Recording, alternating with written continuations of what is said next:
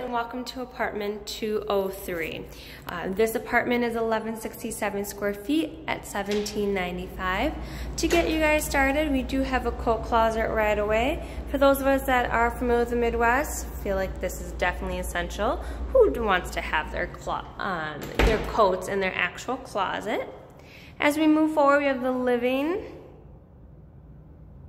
and then the dining, this apartment will definitely be ready by April 1st move-in. We just got the, um, sorry, we got all the wood floors um, put in, so we have no carpet anywhere in sight. And with facing north, you do have a little bit of a city view as well. Then making our way over, we have a linen closet which is quite nice. Who wants to have their towels in their bedrooms or and or under the sink? That being said, we do have the for, um, first bath here. It is um, shower over the tub.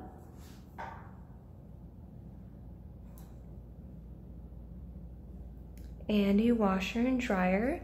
All of our homes do have a washer and dryer in them as well. We have the second bedroom. Also have a little bit of a city view as well. Uh,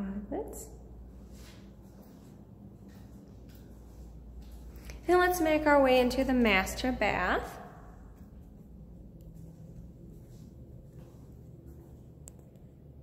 The master bath does have a walk-in shower, so no tub. Get a little bit of the best of both worlds.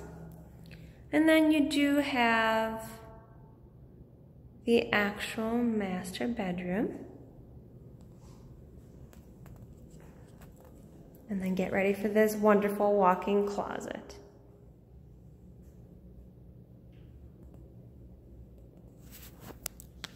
Now, if you have any questions about this apartment home, please contact us at Jefferson Block at Newland mke.com or you can go on the website at newlandmke.com slash Jefferson Block.